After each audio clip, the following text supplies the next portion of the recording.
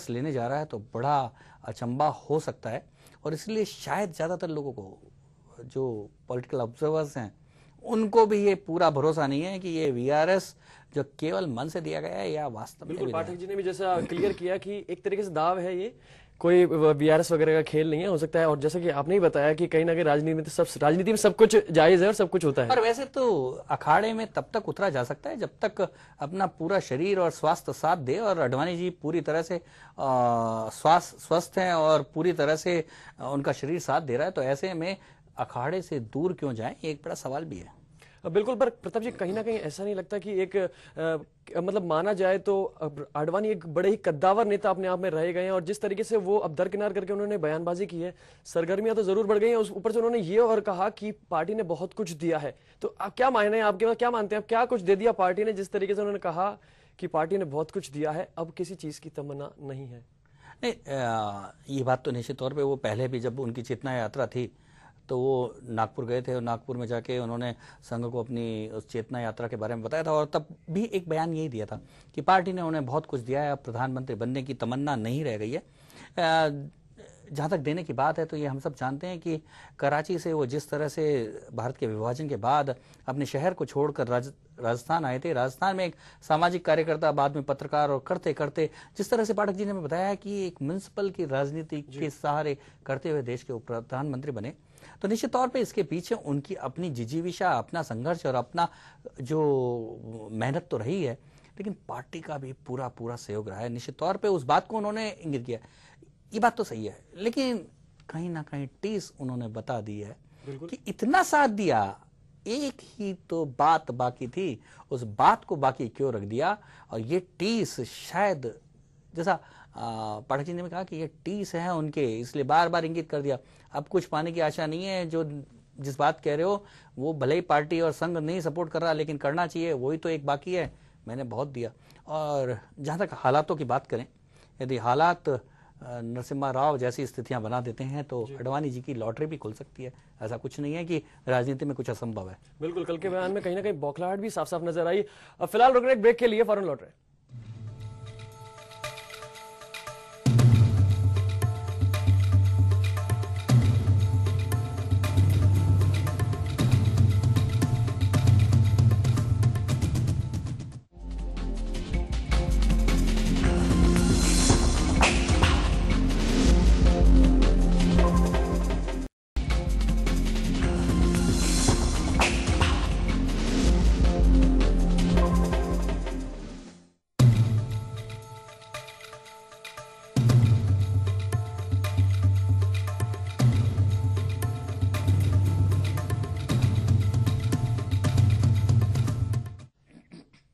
और ब्रेक के बाद आप सभी का एक बार फिर स्वागत है। ब्रेक पे जाने से पहले हम चर्चा कर रहे थे आडवाणी के वीआरएस को लेकर। प्रताप जी, क्या माना जाए? बयानबाजी जो हुई है कल और हमने बाइट भी देखी उनकी, बौखलाहट तो कहीं ना कहीं लग रही थी कि क्यों हम पार्टी ने काफ़ी कुछ दे दिया, लेकिन अब बयान तो देना है। लेकिन वो चुप्पी जो है, ये आने वाली आंधी के लिए जो चुप्पी साधी हुई है।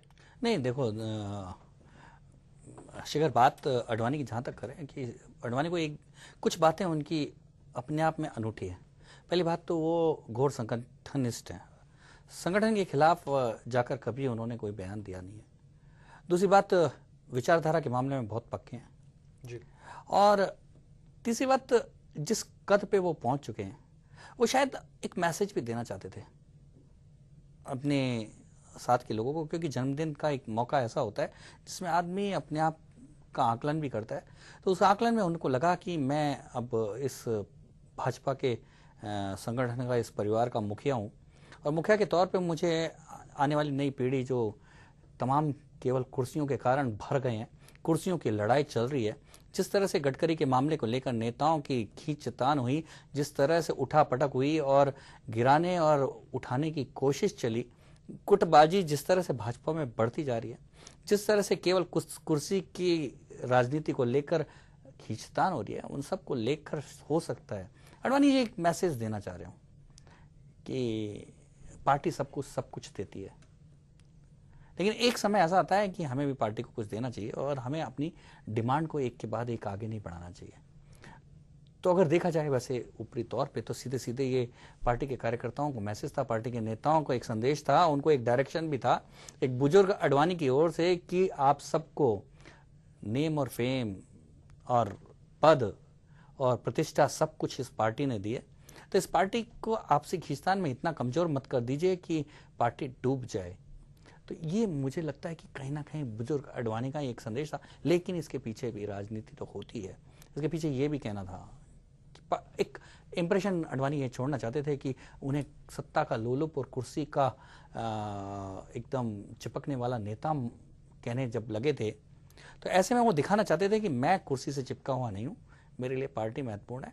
क्योंकि अगर माहौल बनता है तो फिर नेता जो है हाँ। उनको चुन सके अपना नेता लेकिन कहीं ना कहीं कार्यकर्ता जो पार्टी के दिग्गज नेता रहे हैं और पीएम इन वेटिंग जिस तरीके से उनको शुरू से जाना जा रहा है जब से रथ यात्रा भी निकली और अपने आप में एक इनका कद इतना ऊँचा हुआ और उसके बाद अब जिस तरीके का इन्होंने बयान दिया है तो अब क्या माना जाए कि अब बयानबाजी के बाद जो इन्होंने राजनीतिक सरगर्मियाँ तेज कर दी हैं एक बार नितिन गडकरी को हटाने की बात होती है उसके बाद उनका समर्थन शिखर वैसे अगर पार्टी का भविष्य देखा जाए और अडवाणी जी के लिए भी सम्मानजनक बात कही जाए तो निश्चित तौर पे हालात तो ये बताते हैं कि अगर अडवाणी जी ने वीआरएस का अप्लाई कर दिया है तो उसको स्वीकार कर लेना चाहिए।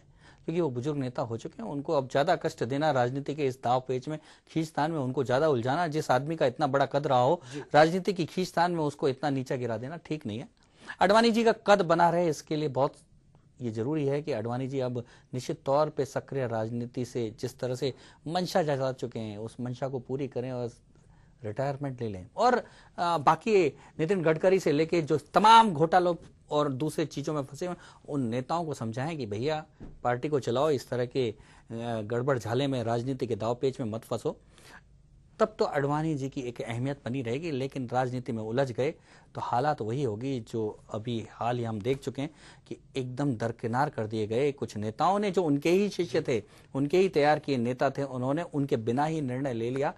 नितिन गडकरी को क्लीन चिट दे दी और देखते रह गए और अपने गुस्से को वो बता भी नहीं पाए, ज़ाहिर भी नहीं कर पाए, पी भी नहीं पाए और चुपचाप कोने में पड़ रहेगा। इसलिए अडवाणी जी के लिए एक बहुत बढ़िया एक रेस्क्यू ये एक मार्ग है कि चुपचाप वीआरएस लेके अलविदा कहना मतलब कुल मिला के अगर कल के बयान में देखें तो पूरी वो मैसेज भेज थी फ़िलहाल बड़ी खबर में इतना ही। दीजिए पूरी टीम को इजाज़त। नमस्कार।